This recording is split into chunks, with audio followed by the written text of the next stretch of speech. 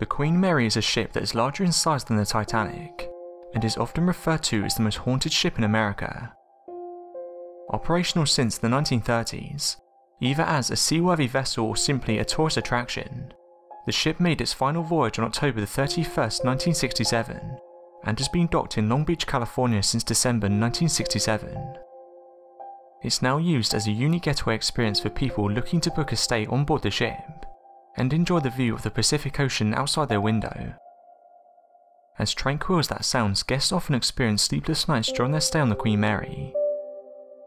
Paranormal activity has been reported on the ship for many years, and guests and staff often claim to see full apparitions, hear children laughing when no children are present, and smell cigars when no cigars are being smoked.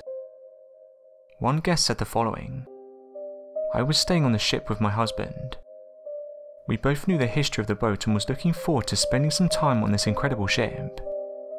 Our stay started well, but during the nights the boat took on a different feel. There would be random cold spots in our room, and every so often we would hear people talking. What was strange is we could never make out what the voices were saying.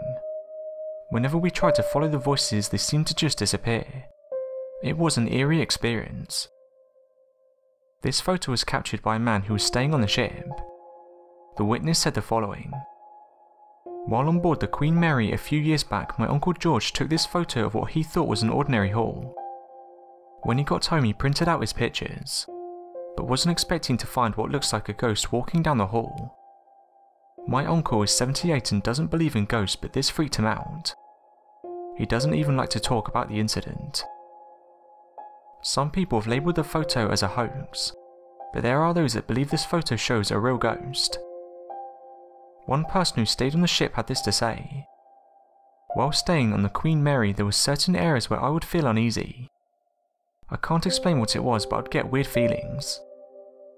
A few weeks after arriving home I decided to research the ship, and found that it wasn't just me experiencing this.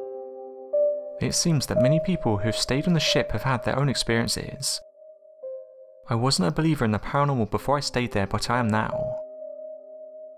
So do you think this picture shows a real ghost? Let me know your thoughts in the comments.